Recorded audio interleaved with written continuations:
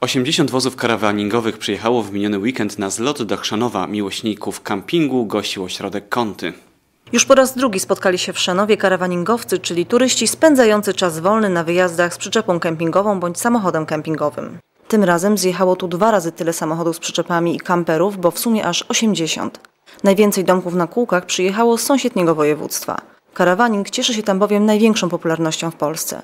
Jak podkreślają organizatorzy zlotu, Szanowski Ośrodek na Kątach bardzo spodobał się karawaningowcom, stąd tak duża frekwencja w tym roku. W tym roku mieliśmy zamiar zrobić lot ogólnopolski, wyszedł międzynarodowy, bo pojawiła się tutaj do nas e, załoga z Czech, także jeszcze tą rangę troszeczkę podnieśliśmy. E, przyjechało około 80 załóg, także w porównaniu do ubiegłego roku no podwójnie tą liczbę no powiększyliśmy razy dwa, tak?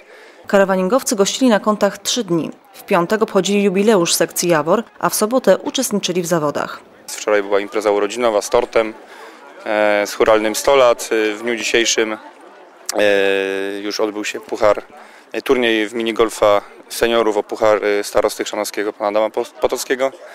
Teraz e, właśnie będziemy rozpoczywać próby sprawnościowe jazdy Pucharu Śląska w jeździe sprawnościowej z przyczepą, którym startują panowie i panie oraz nowość w tym roku Puchar Śląska Pań w jeździe sprawnościowej samochodem. Podobnie jak w zeszłym roku, karawaningowcy przyjechali do Chrzanowa całymi rodzinami. Jak zapewniali, atmosfera zlotu była prawdziwie rodzinna.